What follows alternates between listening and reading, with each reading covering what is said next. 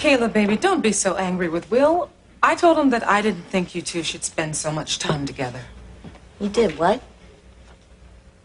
You're not my legal guardian. How would you feel if someone interfered with your life? Just face it, Professor. You fit in here. I don't. Uh, I think I should go. Will, I want you to stay. Look, I didn't always fit in, and let me tell you both Let me tell you something. I got four older sisters. All of them mamas before they was 18. None of them finished high school. Everybody's waiting for Kayla. I'm the last chance for the whole damn family. And you have no idea what that feels like. Oh, I know what that feels like. And I know what it feels like to clean hotel rooms during the day and go to school at night just to get the high school diploma I didn't get. Hey, babe, you, you dropped out of high school? It's not something I'm proud of, but I did it. My whole family was counting on me, too. But I couldn't handle the pressure, so I ran off with some guy and quit school. By the time I realized I'd made a mistake, it was too late.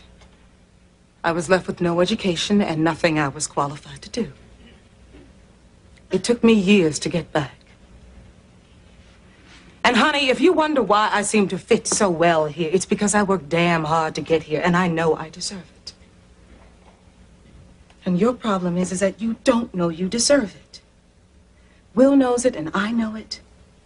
But unless you know it, there is nothing more I can say.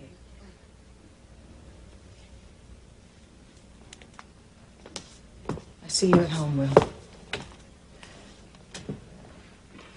Man, I ain't know Aunt Viv clean hotel rooms. Wonder how come she never cleaned my room?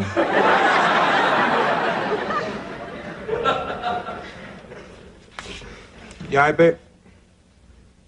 Scary here. Oh, come on, you gonna make it. I mean, look, I'm telling you, if there's anything I can do or not do, I will do or not do. That sounds good. Well, I got, um, three weeks of goofing off to make up for, so I'm gonna hit the books. Yeah, I'll stay out your way.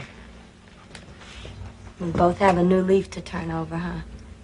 Yeah, you're right. I'll call you. Okay.